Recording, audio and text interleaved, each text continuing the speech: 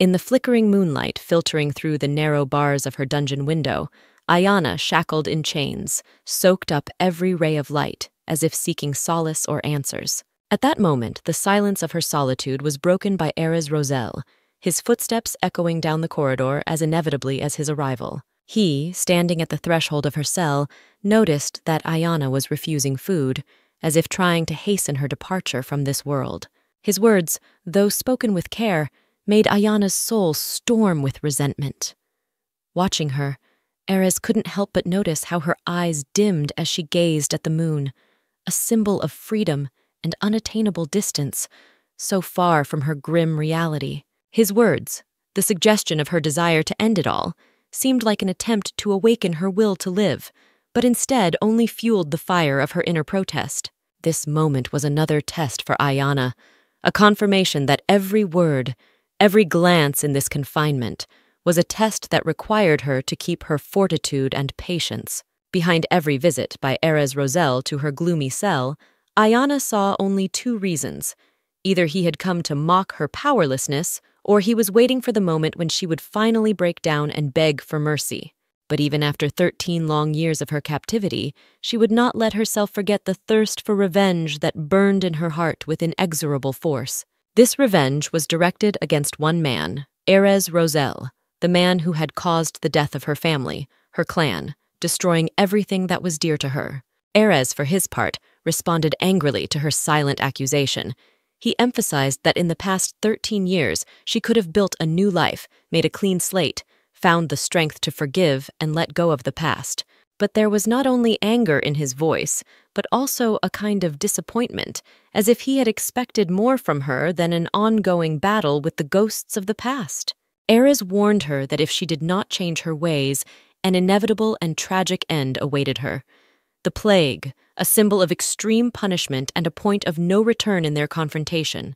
When Erez made his final offer, promising Ayana mercy in exchange for her unconditional submission, the atmosphere in their meeting reached a boiling point. Erez's words, sounding like a generous offer to some, to Ayana they were a test of her steadfastness and loyalty to her beliefs. Suddenly, her body trembled, not from fear, but from an inner resistance and rejection of the very idea of submitting to the one who had caused her endless suffering. But after a moment, the situation took an unexpected turn. Ayana, instead of the predictable despair or brokenness, suddenly burst into laughter. That laugh was neither joyful nor light-hearted.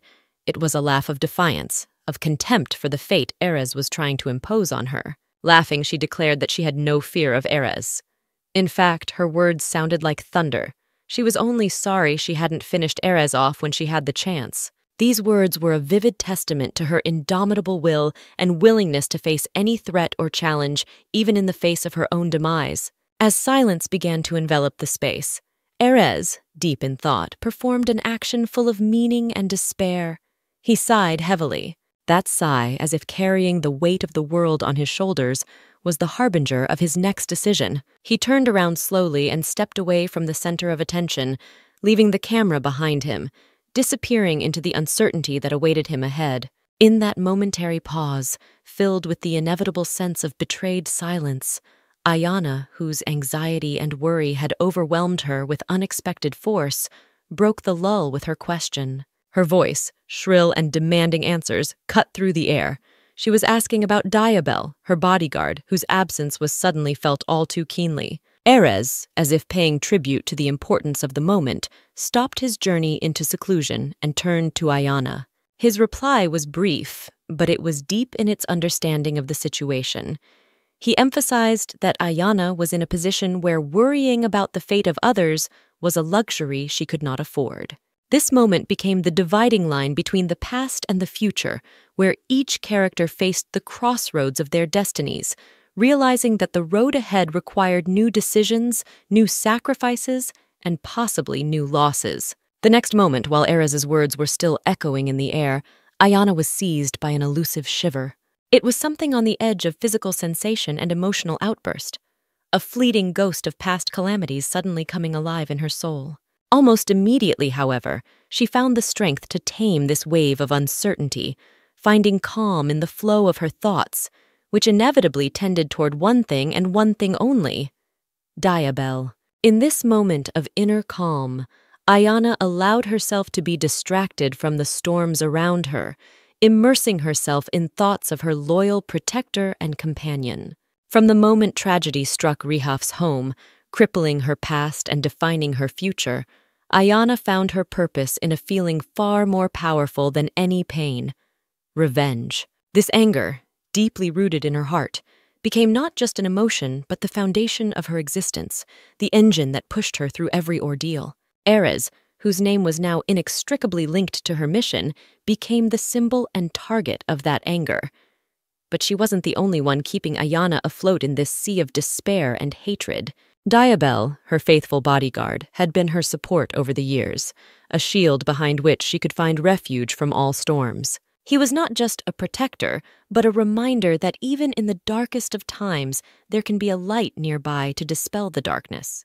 This bond with Diabel, strengthened by years of fighting together and mutual devotion, became for Ayana not only a source of strength, but also a ray of hope that allowed her to look forward to the future despite all the difficulties. In these moments of reflection on Diabel, Ayana realized that her path, the path of vengeance, would not have been possible without this faithful companion whose shadow always accompanied her, protecting her from any threat.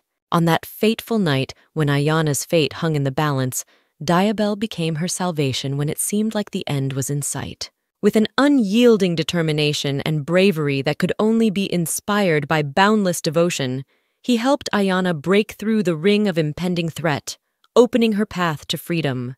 That night, illuminated by the lights of Rihaf's burning house and drenched in blood, was the turning point in their fates, forever imprinted in Ayana's memory as the beginning of her new life. Even when circumstances turned against her and the new family she'd found refuge with betrayed her, putting her at the mercy of Erez, Diabel didn't give up the fight. His loyalty and courage knew no bounds. He fought with hordes of soldiers, proving with every swing of his sword that his spirit was unshakable and his faith in Ayana's protection stronger than any fear. Death seemed inevitable.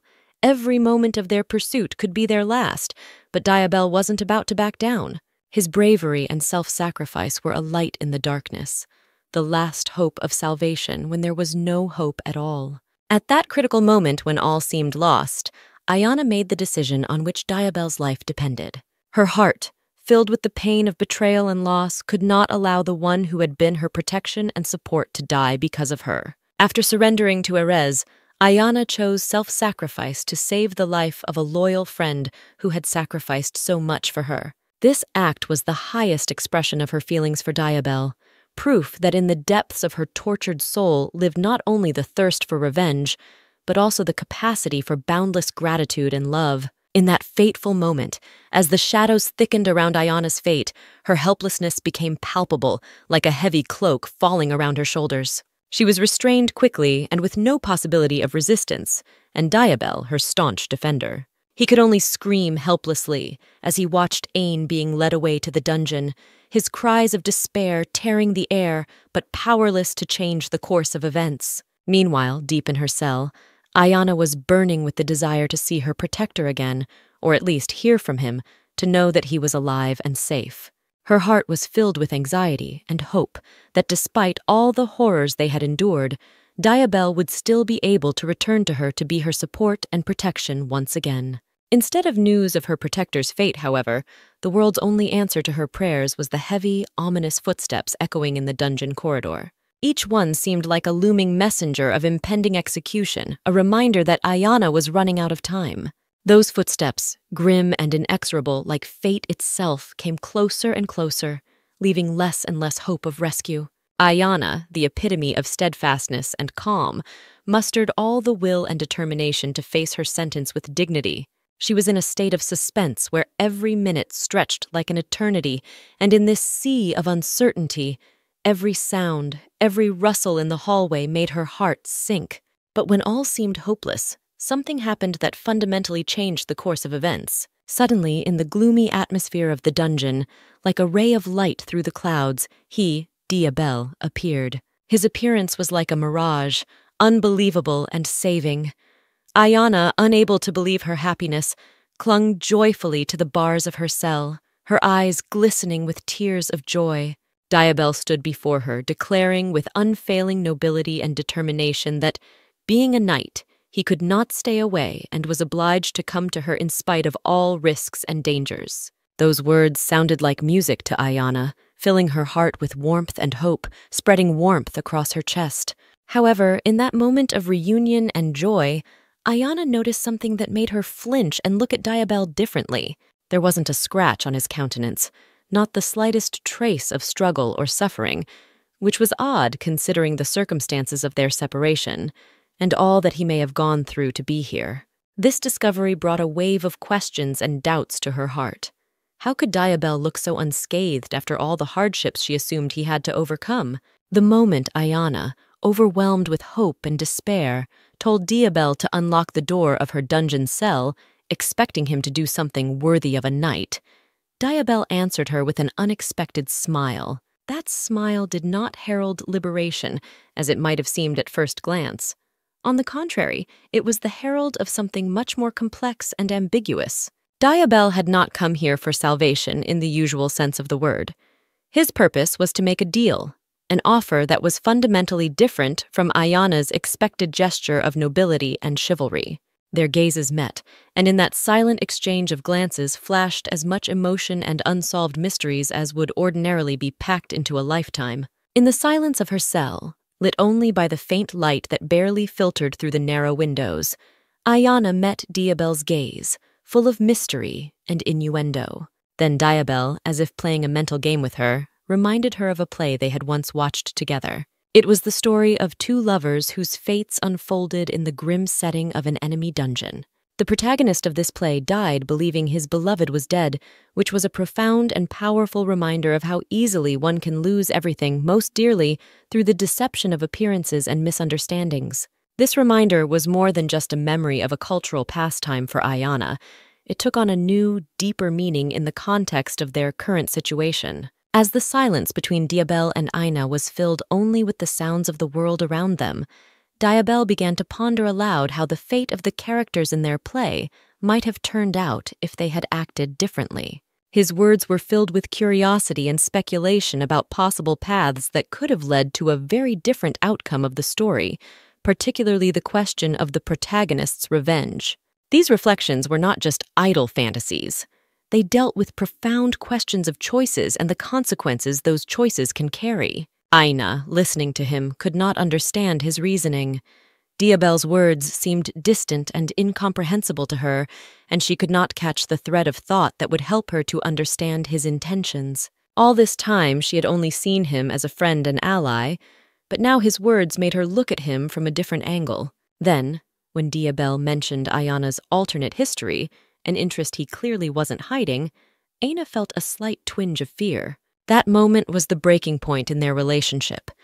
The Diabel she had known up to that point seemed like a completely different person. His curiosity about alternate scenarios for the characters' lives, including her own possible fate, startled Aina. She hadn't expected that ruminations on possibilities and unfulfilled events could interest Diabel enough to begin to see them as something worth special attention. In an unexpected moment, when the conversation seemed to have reached its climax in an exchange of thoughts about possibilities and alternate histories, Diabel offered Ina a possibility that might have seemed too fantastic to be real. He offered her a fresh start.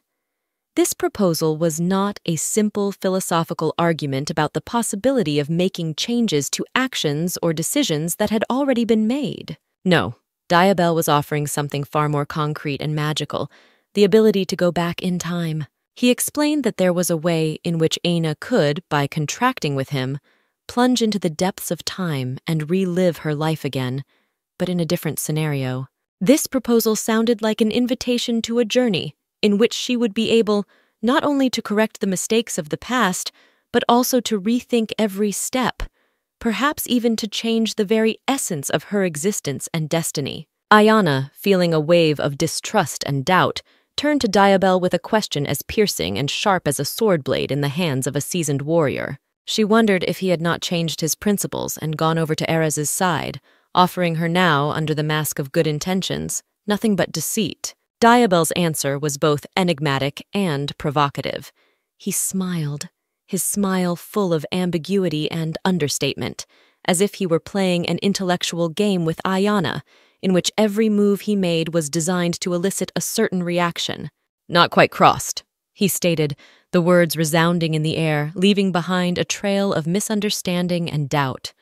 Those words, light as the wind and as mysterious as a night without a moon, caused Ayana's anger to surge. Her heart boiled with emotion, like a volcano ready to erupt. Unable to contain the storm of emotions that flooded her, Ayana, agitated and angry, shouted, ordering the dungeon door to be opened. Her voice, shrill and powerful, reflected the strength and determination of her character. In the heart of the night, when silence enveloped the world, and only the first rays of dawn were beginning to break through the veil of darkness, Diabel, whose presence always meant a change of fortunes, made an unexpected announcement. It was like a messenger of destiny, reminding us that time was inexorably passing and the dawn had already come, leaving behind the night shadows and all doubts. With each moment that passed imperceptibly, the grim fate of Ayana approached, a girl standing on the threshold of eternity whose fate was about to be decided without the possibility of intervention. Diabel, whose words reeked with the coldness of inevitability, turned to Ayana with a question that pierced the very core of her being. He asked if she would accept the bitter fate that fate had in store for her, or if she would dare to defy time itself by entering into a contract with him, Diabel. This contract could be the key to the gates of the past, giving Ayana the chance to change the course of history, intervene in the arrangement of destinies, and rewrite the final pages of her life's chapter. At that moment, as dawn dispersed the darkness and brought the inevitable closer, Ayana was faced with a choice that would determine her fate. Will she accept the role of a pawn on the board of fate, resigning herself to the cruel reality of execution?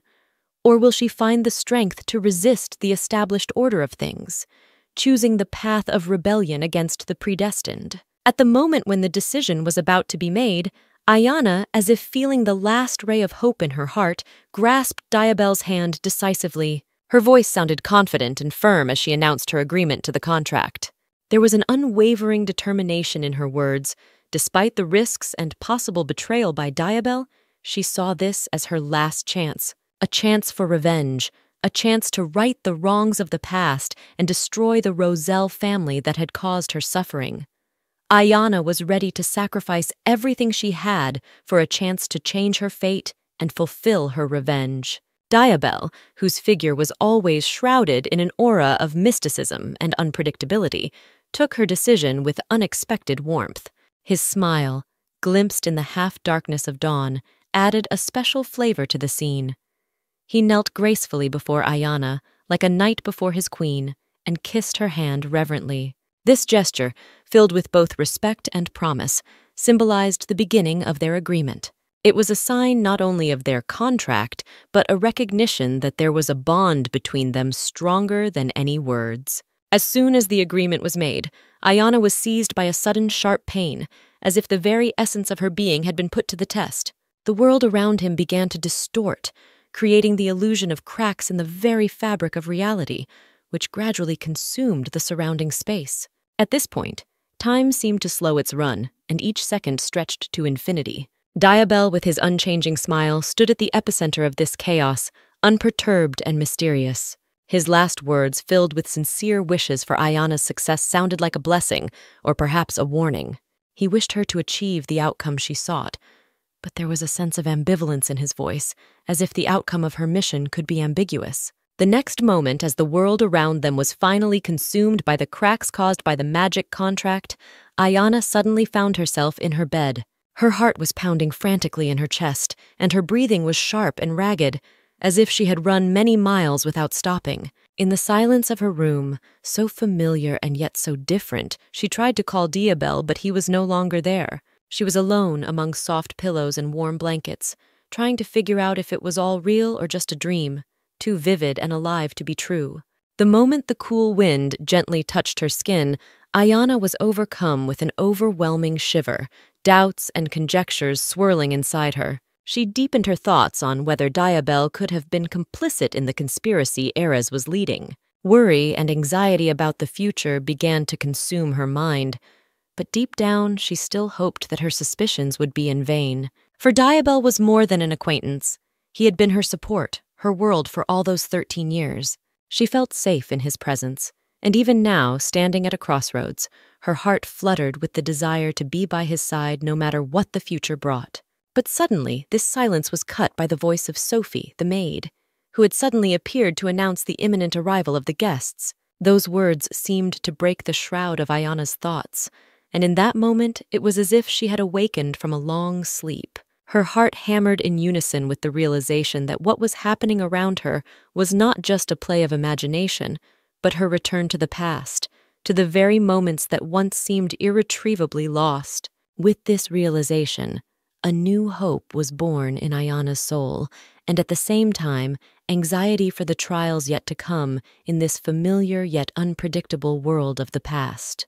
Sophie, whose smile was always filled with warmth and care, brought another piece of news that made Ayana's heart freeze for a moment. She informed her that Ayana's father, a long awaited and deeply respected man, was due home today. These words sounded like thunder to Ayana, for she had not yet recovered from the shock of her sudden and incomprehensible return to the past. Her mind was gripped with a mixture of excitement and happiness at the thought of seeing her father, whom she had not seen for so long. Without giving Ayana time to think, Sophie took her by the hand and, like an older sister, led her to the washing routine to prepare her for the big event of her father's return. As she approached the basin of water prepared for washing, Ayana was confronted with something that made her heart stop in surprise.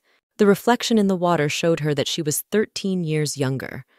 It was as startling to her as the fact that she had traveled back in time. Walking through the expanse of her home estate, Ayana felt every corner of it, every rustle of leaves in the wind, as if trying to convince herself of the reality of what was happening.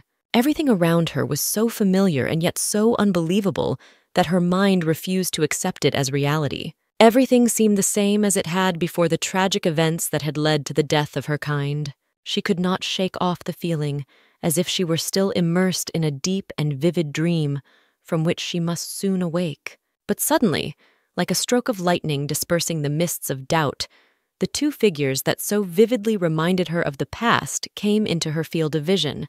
They were her brothers, Lloyd and Blair, who always wore glasses that gave him a particularly scholarly look. Seeing them, Ayana felt the reality around her become even more tangible. Lloyd and Blair, her brothers, who were not only related to her by blood but also close friends, now stood before her in flesh and blood, not in her memories or dreams. This moment was the point of no return for Ayana to her previous aversion to her situation. Her heart was filled with a storm of emotions, from unbridled joy to profound surprise. In one unique moment, when time seemed to stand still, Lloyd, whose presence had been but a shadow in Ayana's memory for years, suddenly turned in her direction. With the casualness and warmth that could only be expected from a long lost but never forgotten brother, he beckoned her to him. The gesture seemed to awaken a whirlwind of feelings in Ayana. She was confused and hesitant, for before her stood the man she had thought lost forever, the one she had not seen for 13 years. Meanwhile, noticing her sister's hesitation, her younger sister, the epitome of care and concern, ran up to Ayana unhesitatingly. Her actions were full of genuine concern for Ayana's well being, as if she wanted to make sure that Ayana was all right that the unknown power to bring their brother back had not harmed her. And so, barely calmed from the initial shock, Ayana felt her brothers running up to them as well, each carrying with them a piece of the shared joy and hope of reunion. That moment was the culmination of the feelings overwhelming her, and she couldn't hold back the tears. For Ayana, at this moment in time, it no longer mattered if it was reality, a dream, or an illusion. It didn't matter if the moment was a return to the past or just a fleeting deviation from everyday life. The only thing she longed for was to be with her family, to absorb every detail of that meeting, every look and every touch.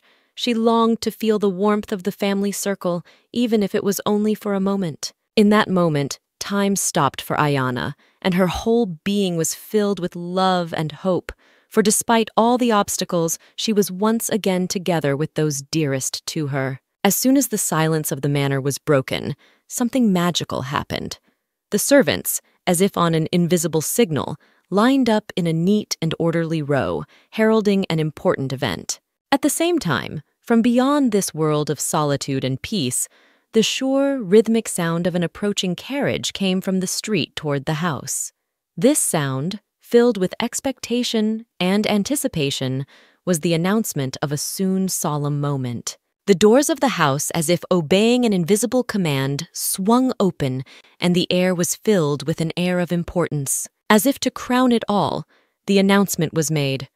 The Master has arrived. These words, spoken with such solemnity and confidence, announced an important event that would bring about a new change.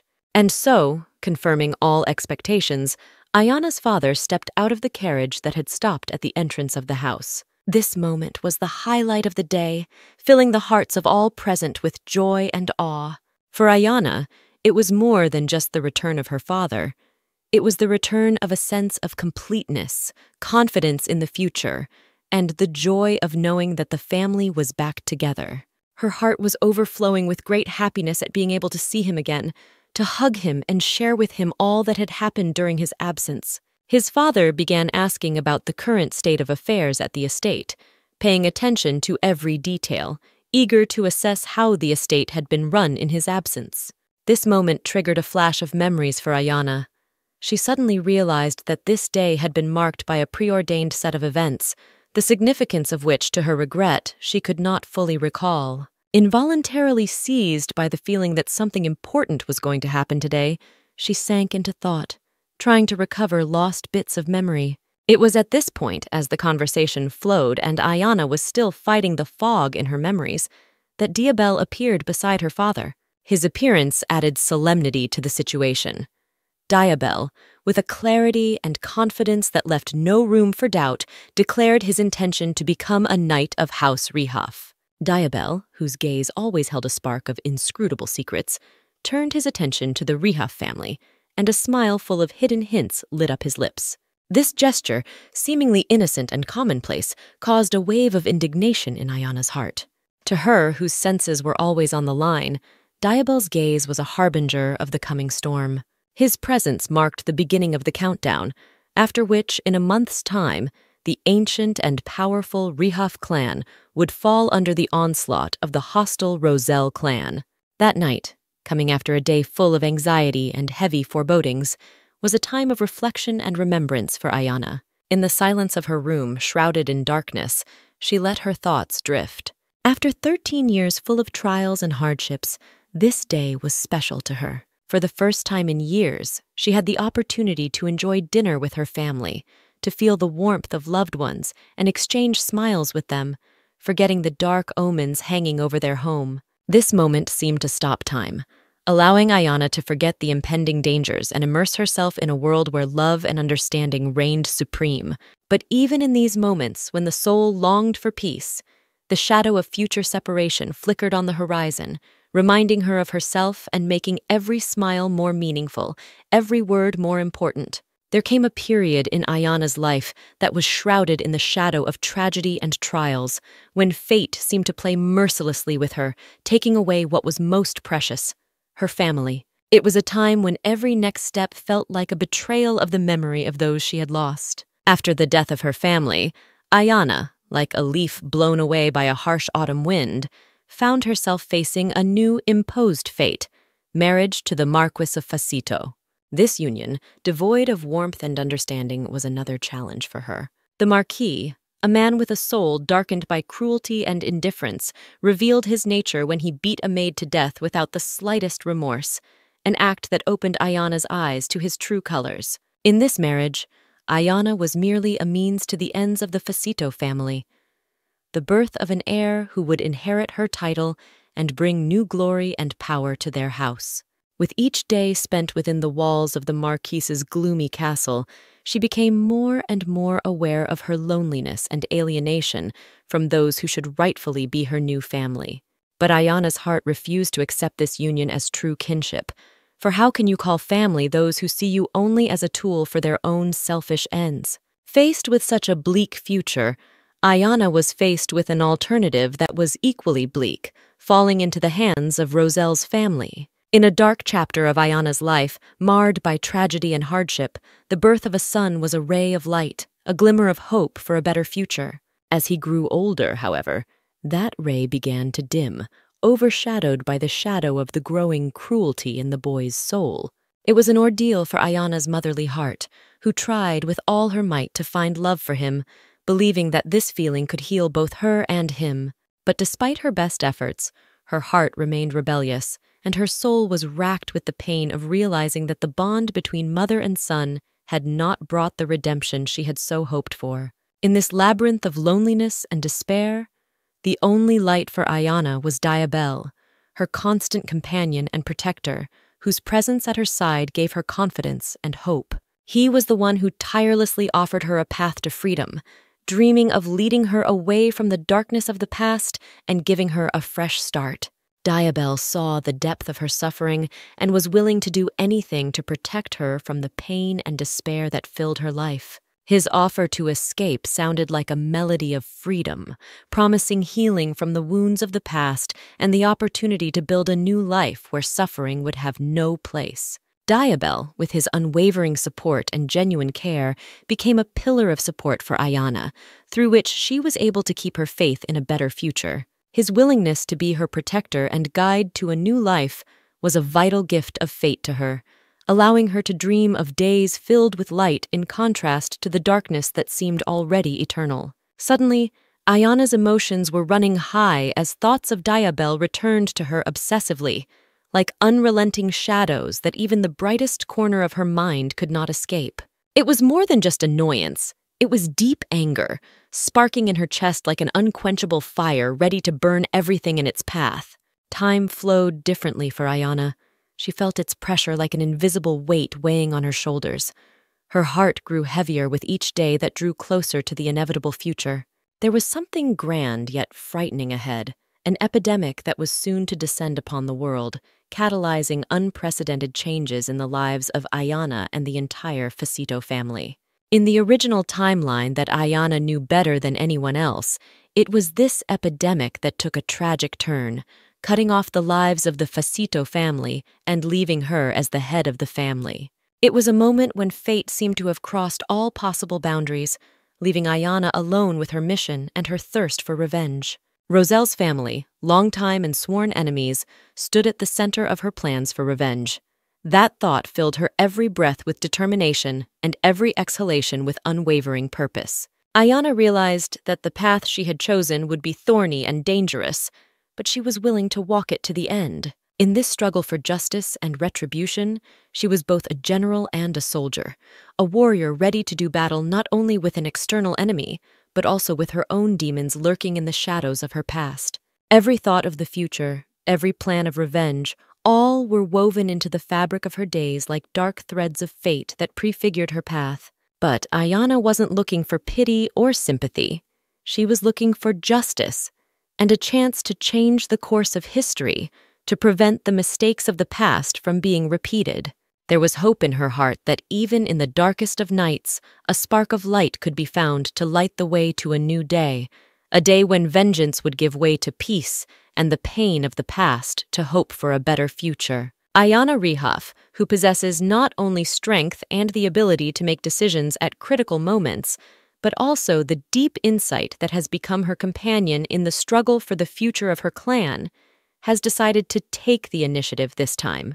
She realized that her family's fate hung in the balance, and she was determined to prevent the Roselle attack, which she knew was going to break out in a month. Her plan was not only to protect her loved ones from the imminent threat, but also to strengthen the position of her clan so that such attacks would be impossible in the future. At that moment, while Ayana's thoughts were completely consumed with strategy and future plans, Diabel entered the room, a mysterious figure with whom she had unresolved business related to the contract that brought her back in time. This contract was a key element in her journey, and now that its creator stood before her, Ayana felt it was time to seek answers. With an iron determination in her voice that left no room for doubt as to the seriousness of her intentions, she sternly asked Diabel who he was. This question was not idle curiosity or an attempt at dialogue. It was a demand for understanding, a key to unlocking the secrets that Diabel held within himself. His answer was shrouded in a veil of mystery, for instead of a direct answer, he smiled, a smile full of mystery and unread pages of their shared history. There was an unspoken heaviness in the air as Diabel stood before Ayana and revealed his true nature to her. He introduced himself, not just as a knight from the noble Rihaf family, but as an unwavering defender of Ayana, deeply immersed in learning about her personal tragedy. Moreover, he openly declared himself to be the very devil Diabel, an entity shrouded in darkness and mystery whose name causes awe and terror in the hearts of many. Ayana, confronted with this revelation, felt an inner turmoil.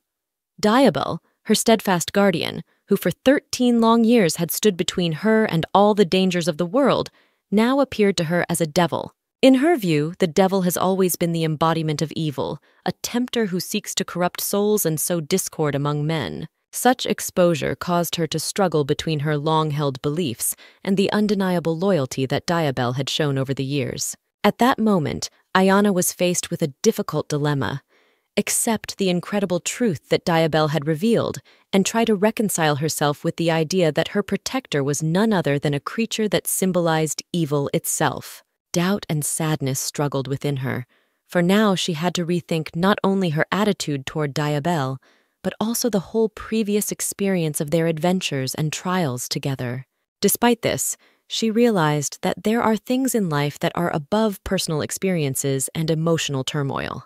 Ayana had to make a difficult decision that would determine her future fate and her relationship with Diabel, such a multifaceted and contradictory figure in her life. Ayana's heart was gripped with anxiety and excitement as she stood before Diabel, trying to solve the riddle that plagued her mind. The main question that kept her wondering was why Diabel had chosen this very moment, after a full 13 years of adventures and trials together, to reveal his true nature to her. In response to her question, Diabel, with a slight smile that could mean both genuine amusement and cryptic ambiguity, noted that Ayana had never before sought to ask the question directly. His words sounded simple, but they hid the depth of years of secrets and untold stories. Next, Ayana, whose soul was clouded with forebodings and doubts, ventured a more delicate question, inquiring as to the reasons that prompted Diabel to reveal herself just at the moment when she was teetering on the brink of life and death. Diabel's answer was as unexpected as the revelation of his true identity. He admitted that it was the opportunity to have fun watching her struggles and trials that made him keep his secret in the shadows throughout the years. There was something disturbingly playful in those words, as if Diabel derived pleasure from watching human suffering, especially those he cared about. In a somber yet heartfelt conversation, Diabel revealed to Ayana one of the most mesmerizing secrets of her world. He began by saying that devils, creatures whose lives are measured not in years or decades but in centuries, have a special passion for the tragic plots of human history. These boundless, dark entities, bored with mundane stories that are invariably repeated from generation to generation, have invented something unique a theater of human destinies. It's a phenomenon where devs witness the most fascinating, unique, and at times tragic stories of people's lives while literally being one breath away from the protagonists of these dramas. Diabel, with bitterness in his voice, admitted to Ayana that he was genuinely upset by the girl's failure to seek revenge on Roselle's family. After all, revenge would be another page in the book of human passions that the devils were so fond of. He hoped that Ayana would do well this time, showing not only his attention to the details of her life's journey, but also some semblance of sympathy, or at least interest in the outcome of her future trials. For 13 years, Diabel had been Ayana's indispensable companion, a shadow following her footsteps, the silent guardian of her destinies. In the back of her mind, Ayana cherished the thought that his constant presence with her was a sign of sincere affection, perhaps even love.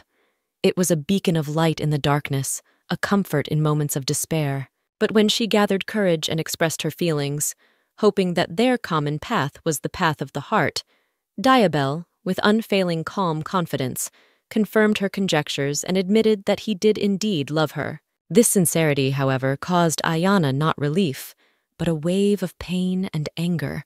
Her words broke through the wall of years of silence, accusing him of the kind of suffering true love would never have allowed her to go through. She cried out that if he really loved her, he would have found a way to put her out of her misery instead of letting it drag on for years. Her words were full of frustration and pain, for in her mind, love always went hand in hand with protection and patronage. Diabel's answer was unexpected. With a smile in which the bitterness of understanding and fate were evident, he replied that this was the nature of devils. His words sounded like a verdict, like an explanation that even in the midst of the darkness and chaos that were part and parcel of his being, love could be born. But this love was not the kind of love portrayed in stories and songs. It was complex, contradictory, and full of thorns, like the nature of the one who experienced it. Diabel made a point that echoed in the hearts of those who walked beside him. He emphasized that any story devoid of trials and difficulties is doomed to seem uninteresting and monotonous. Those words were like a key unlocking the lock of Ayana's memories, and she couldn't hold back the tears that rolled down her cheeks. They were not merely a symbol of sadness or weakness, but instead a reflection of a deep realization of the long and thorny road that had been traveled. Diabel, with his power over fate, could have chosen to leave Ayana on a path that would lead her to an inevitable and tragic end. He could have left her on the scaffold, a symbol of despair and the collapse of hope, where her journey would have ended in the most horrific way. However, his words were not only threatening but also wise, encouraging us to think that even in the darkest corners of fate, there are hidden chances for redemption and opportunities for change. Determined to reject the thought of such a bleak ending to their shared history, Diabel gave Ayana an opportunity for correction and a new beginning. This choice was not made lightly. It reflected a deep belief that everyone deserves a chance at salvation and an opportunity to prove their resilience in the face of adversity. Ayana, reflecting on the past events and Diabel's words, came to a startling realization. It was clear to her that Diabel's companionship on their long and arduous journey had been motivated not so much by a desire to help or support them as by pure curiosity. Seeing the quiet recognition in his eyes confirmed by a nod, Ayana felt a surge of the most contradictory feelings. Emotions overwhelmed her, and unable to contain the tension, she slapped Diabel. That gesture, more than words, expressed the full range of feelings that had been building up in her heart. In response to her outburst of anger, Diabel only smiled and, as if playing with fire, provoked her. Did she not wish to strike him again? This challenge, which sounded like a spark between them, ignited Ayana into hysterics. Tears mingled with her screams, and she began randomly striking Diabel's face and chest, the man she had once loved unconditionally. In this chaos of feelings, when Ayana's every stroke became a reflection of her inner struggles and dashed hopes, Diabel suddenly showed concern. He stopped her hand, expressing concern that she might hurt herself. His offer to take something heavier for a beating, contrary to expectations, didn't sound like mockery. Rather, it was an admission that he was willing to take on her anger, recognizing the depth of her frustration and pain. In that tense atmosphere, where every word and action carried weight, Ayana, barely containing the swirl of emotions within her, dared to ask the question that had been burning in her soul for a long time. She asked Diabel if he felt pleasure in watching her cry, in watching her struggle against circumstances that seemed insurmountable. Her gaze was piercing, as if she was seeking not just answers, but the truth about the man standing before her.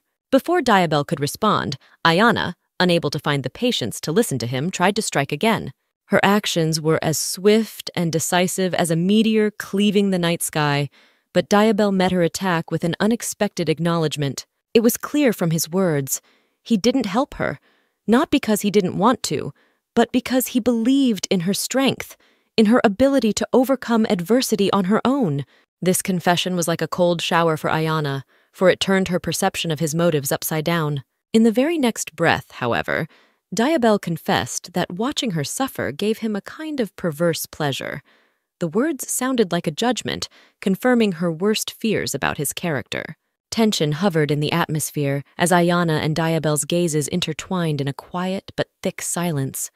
It was hard to predict the outcome of this meeting, for each of them was full of determination and secret intentions. Ayana, her eyes sparkling with defiance like waves in a stormy sea, spoke her desire to end Diabel's life in a menacing voice.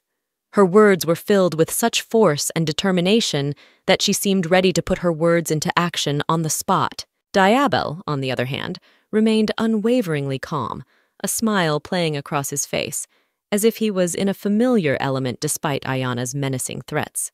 With a smile, he assured her that he would be there for her, ready to come to her aid at any moment, despite everything that had happened between them. Those words were full of not only a promise of support, but a hint of deep understanding and perhaps an unexpected connection between them. Ayana, however, did not accept this promise gratefully. In response to his words and gestures, she pushed his hand away, rejecting any attempt at rapprochement or help. Her order to hide from her sight was clear and unyielding, as if she were putting an insurmountable boundary between herself and Diabel. This moment emphasized the deep divide between them, a conflict that seemed unresolvable. Their interactions were filled with deep emotions and unresolved questions that left the viewer in suspense and waiting for events to unfold. Stepping away, Diabel left behind words that sounded almost like echoes in the silence, a promise to always be there for him, even despite Ayana's apparent reluctance to allow his presence in her life. Those words hovered in the air, leaving a sense of inevitability that they would come true, regardless of her wishes. Ayana, left alone, finds a moment of solitude that seems endless. Her mind is enveloped in silence, in which she tries to grasp the essence of what is happening around her. Exhausted by the events, she collapses on her bed, feeling absolutely devastated. This moment of despair portrays her as an exhausted being, devoid of strength and desire to move on. Ayana is in a state of deep fatigue where even the thought seems an unbearable burden. In this heavy silence, she can barely feel her own body. Her existence seems devoid of meaning, as if she has become a lifeless shell. However, even in such a moment of despair, a glimmer of realization pierces her mind. Ayana comes to realize that time is inexorably passing and that she has a task of gigantic proportions before her. She realizes that she has less than a month to prepare for the upcoming attack by Roselle's family. She realizes that she has less than a month to prepare for the upcoming attack on Roselle's family. Despite her internal resistance and physical exhaustion, she realizes that she needs to mobilize all her strength and resources in the face of an impending threat. This moment becomes the breaking point when Ayana, despite all obstacles, prepares to meet her fate face to face, gathering her thoughts and setting herself up for the struggle ahead. Experiencing a deep fear of a repeat of the horrific events of the past overwhelms Ayana, leaving her heart with an overwhelming anxiety. The memory of the loss of her loved ones, of the terrible day when death took her family, gave her no peace. Going back in time gave her a chance to right the wrongs and perhaps prevent tragedy. But the prospect of losing them again, the realization that their deaths could become a reality again, filled her soul with unspeakable pain and despair. She knew that she could not bear it a second time, that her heart could not bear such a second blow. But Ayana was faced with a dilemma that seemed insoluble. On the one hand, wanting to share her knowledge of the future with her father might have helped prevent the impending disaster, but on the other hand, she was tormented by doubts and fears about his reaction. In her imagination, images of her telling him the truth, and him looking at her with eyes full of incomprehension and doubt, as if she were not his daughter, but a stranger mumbling incoherent fantasies. Ayana was acutely aware that her story, intertwined with time travel and forebodings of the future, might seem absurd and unbelievable. She feared that her words would be met with skepticism and disbelief, that her attempts to warn against the coming danger would be dismissed as fiction. Ayana discovered the power to withstand adversity. Realizing that tears could not change reality, she decided to arm herself with the knowledge of the original timeline in an effort to prepare herself for any trials that might befall her. The decision was like lighting a beacon in a dark night, guiding her along a path of not only survival, but possible triumph over her circumstances. However, Just when it seemed that every step forward had been thought out, Ayana was confronted with something as unexpected as it was mysterious. She noticed a strange pattern on her chest that seemed to come out of nowhere. The symbol, previously unknown to her, instantly awakened a wave of questions. Where did it come from and what did it mean? Was it a harbinger of new trials, or perhaps a gift given by fate for the battles to come? After a few days, as Ayana immersed herself in the ritual of bathing procedures designed not only to purify the body, but also to renew the spirit, her world was once again darkened by the unexpected. The maid who was busy brushing her hair suddenly expressed her admiration for Diabel, calling him handsome. The mention of that name sent a cold wind through Ayana, causing her to tense up. Diabel, whose name carried so much uncertainty and potential threat, was back in her mind again, making her think of the many things that could be hidden behind his image. These moments imprinted in Ayana's memory were not mere vicissitudes of fate, but signs indicating the depth and complexity of the world in which she was to find her way. Ayana, ever since Diabel's outline had disappeared in the darkness of that unforgettable night, had not had the opportunity to meet him again. Yet his presence, like a ghost, continued to haunt her thoughts, leaving an unpleasant residue of irritation. The situation reached its climax when one of the maids, with a twinkle in her eye, shared with Ayana her impressions of Diabel, claiming that his personality had won the hearts of all the inhabitants of the estate. Ayana, whose displeasure had reached a fever pitch, reacted strongly to these words, cautioning the maid against trusting people so unquestioningly. This caused the maid to freeze in slight exasperation at the suddenness and sharpness of the remark. After this brief but meaningful exchange, Ayana felt that all preparations were finally complete, and it was time for privacy. With a sense of achieved calmness, she announced to the maids that she wished to bathe in absolute isolation from everyone, emphasizing her desire to enjoy the rare moments of solitude without anyone else's presence. After Ayana had secured complete privacy, she decided it was time to pay attention to the newly discovered tattoo that had mysteriously appeared on her skin. This unexpected twist of fate made her realize that the upcoming conversation with Diabel promised to be not only necessary, but probably extremely stressful. Ayana was certain that he was the one behind this mystery, and he was the only one she could get answers from.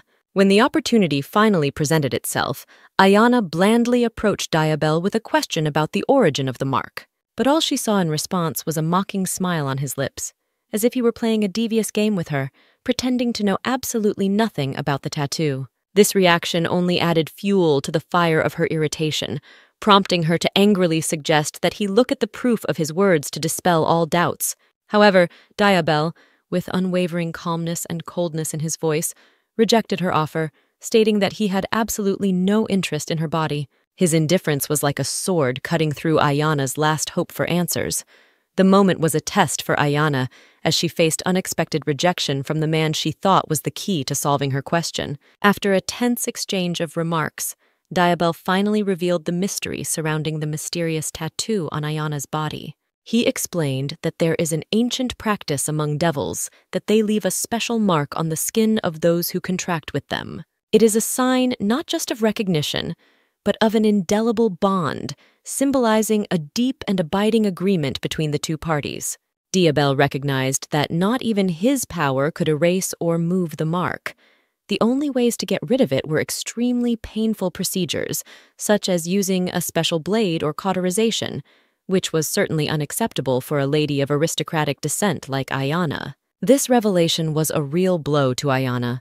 The mark on her body now seemed to her not only physical proof of an invisible contract with the devil, but also a symbol of social exile. In a world where reputation and blood purity are crucial, especially for women of the aristocratic circle, having such a mark could have spelled disaster for her future chances of marriage. Ayana realized that this mark could become not only a personal burden, but a stain on her reputation that could cause the doors of noble houses to close in front of her forever. Ayana, despite the deep disappointment and unforgiven resentment caused by Diabel's actions, has come to believe that his extraordinary demonic abilities may be the key to protecting her family from impending threats. She realized that although the trust between them had been shattered, their shared interests and need for protection could be the basis for a new, albeit cautious, alliance. Diabel, on his part, expressed full confidence in his ability to fulfill any of Ayana's requests, provided she was willing to pay the appropriate price for his services. His words sounded like a promise of limitless possibilities, but also a reminder that in a world dominated by the forces of darkness and light, everything has a cost, and any wish can be granted for the right price. Realizing that the stakes are high and eager to keep her family safe at all costs, Ayana decides to take a bold step. She asks Diabel the direct and decisive question of whether he is capable of building an army, a force capable of protecting her family and their holdings from any enemies. In a world where magic and the forces of darkness intertwine in a dance of power and ambition, Diabel, a creature of darkness, claimed it was in his power to grant any wish. Ayana, with fire in her eyes and dreams of greatness, approached him with a request that could change the course of history. Her heart burned with a thirst for vengeance, and she asked Diabel for an army so great and powerful that it could wipe the Roselles off the face of the earth in one fell swoop, fulfilling her wildest aspirations. However, contrary to her expectations, Diabel cooled her fervor with a cold statement. He said that despite his power, he could not give Ayana what she wanted without mutual payment. At the time of the pact between them, Ayana promised to give Diabel everything she had in exchange for his help.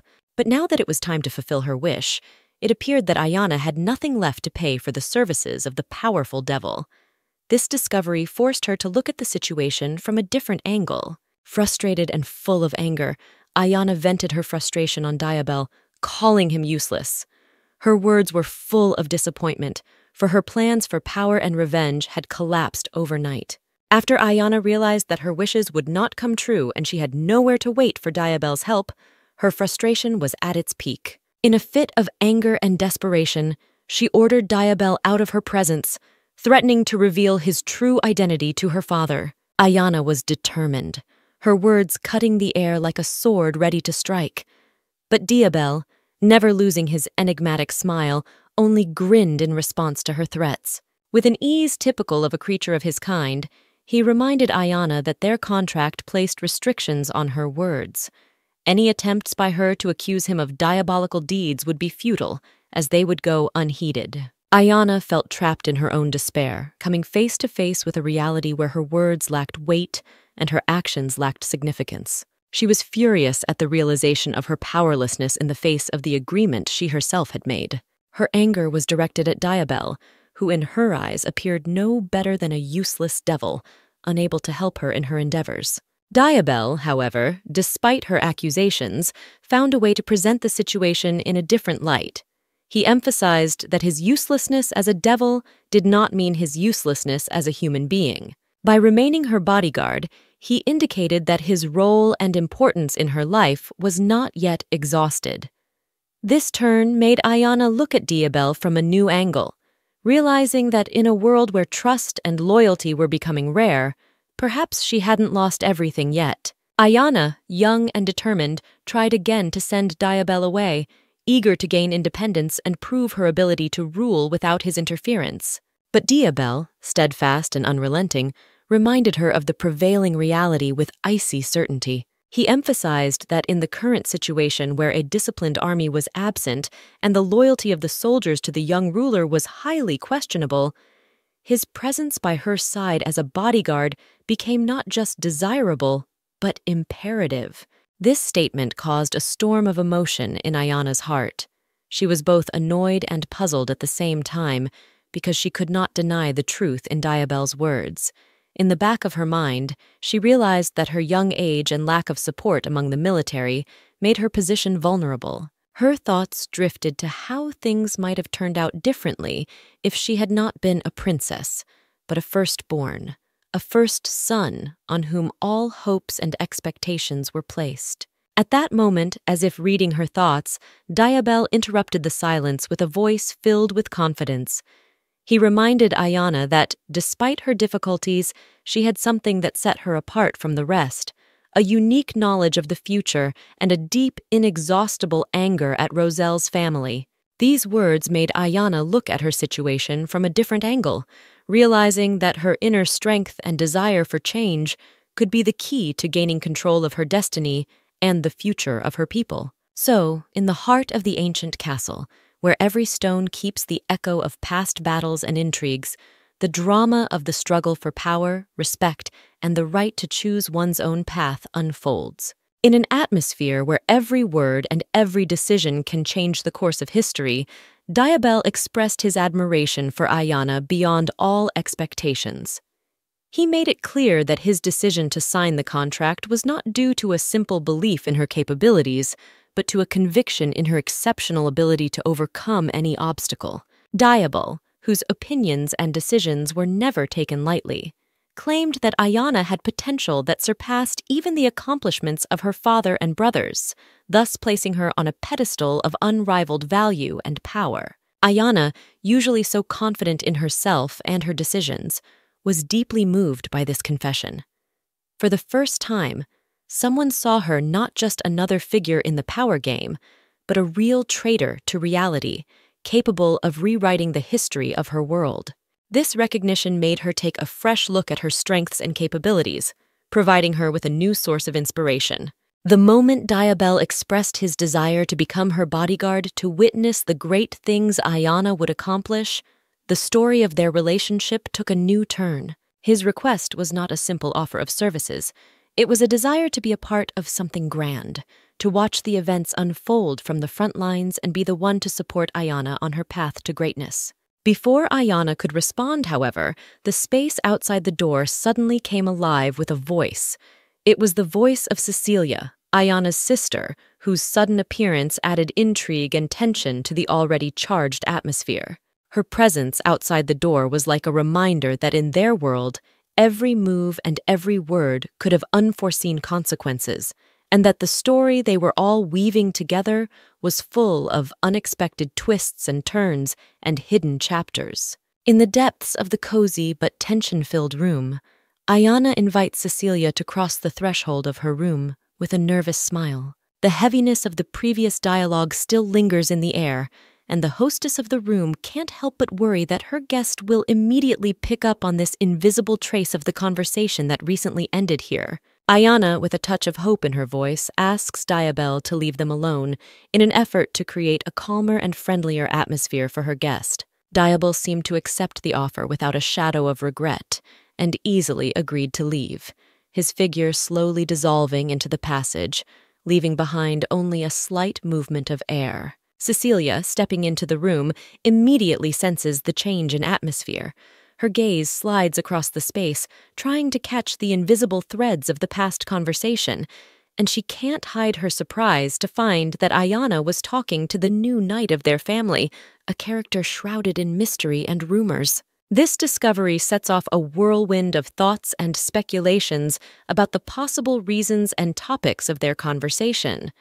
All this creates a special atmosphere of a meeting between two women, each perhaps seeking answers to their own questions or seeking to hide their own secrets. Ayana, feeling Cecilia's gaze on her, hesitantly tried to justify herself by talking about the insignificant, everyday things that she said required discussion with Diabel. Her voice trembled, as if reflecting the excitement she felt inside as she tried to give her words credibility. However, Cecilia, whose attention was riveted on her every movement and sound, gently but insistently cautioned Ayana to be more careful. Her voice sounded not only concerned, but also a hidden anxiety, for Ayana was betrothed, and such meetings could give rise to unwanted rumors and suspicions. As Ayana recalls her engagement, it's as if she's plunged into a maelstrom of the past, where she had a fiance in her life with whom she shared happy moments before the tragedy that took her family away. This memory turns out to be an unexpected cold shower, reminding her that going back in time has once again given her a chance at happiness that seemed irretrievably lost.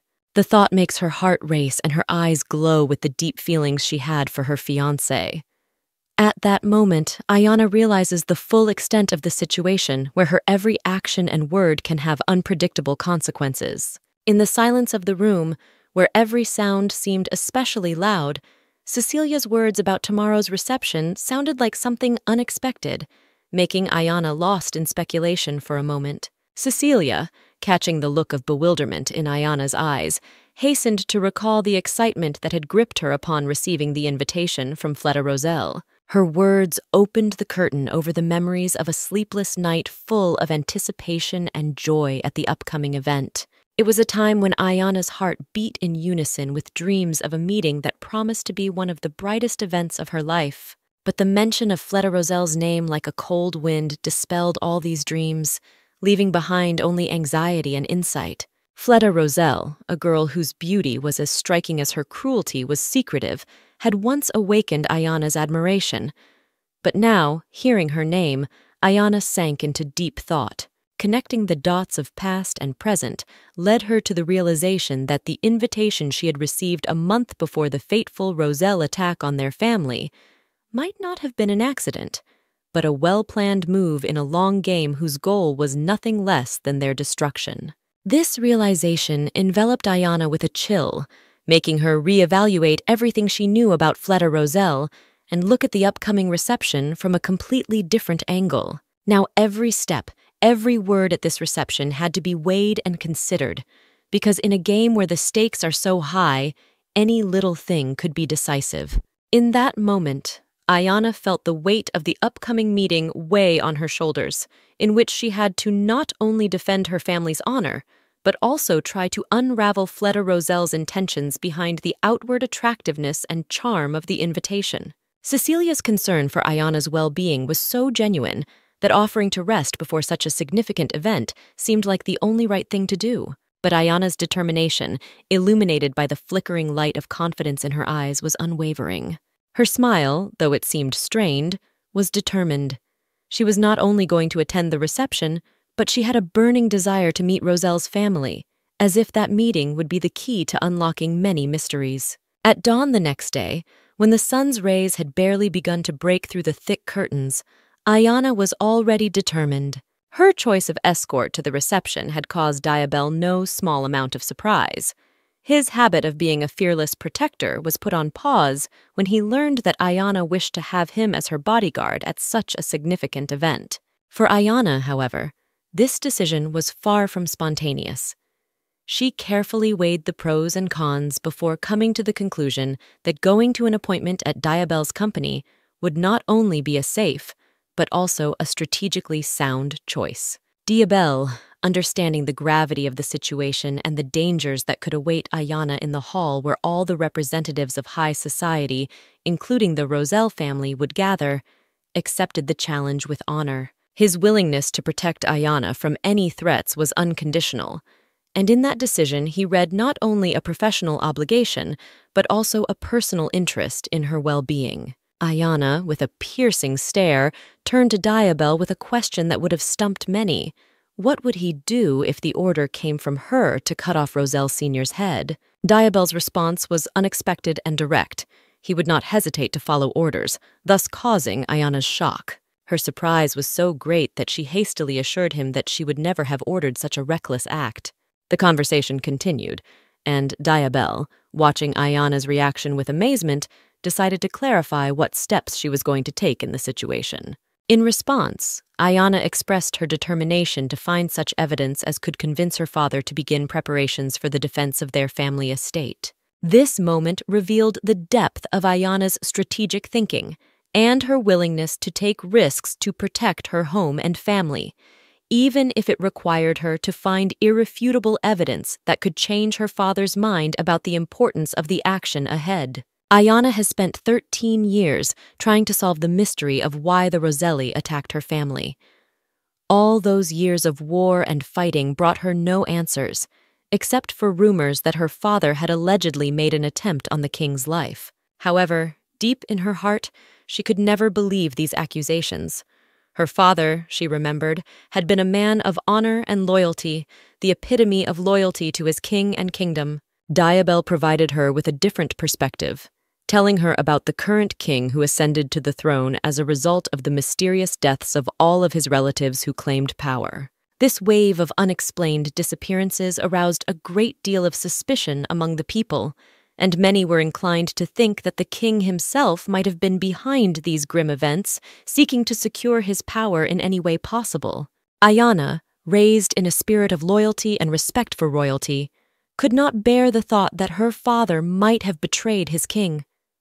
She persisted in her search for the truth, believing in her father's innocence and his unwavering loyalty to the kingdom. These events and Ayana's reflections revealed the depth of drama and internal conflicts in history, shrouding her life in a veil of secrets and mysteries that she sought to unravel in order to restore her family's honor and discover the true causes of the tragedy that had befallen her loved ones. As Ayana thought deeply and analyzed the events that had happened to her family, she came to the conclusion that Ansgar Roselle may have used the accusations against her father as a convenient excuse to achieve his own ends. She suggested that the real reason for the conflict lay not in the alleged assassination attempt on the king, but in the struggle for power and influence in the kingdom. Ayana is convinced that both families, her own and Roselle's, were loyal servants of the previous monarch and their relationship changed dramatically after his death.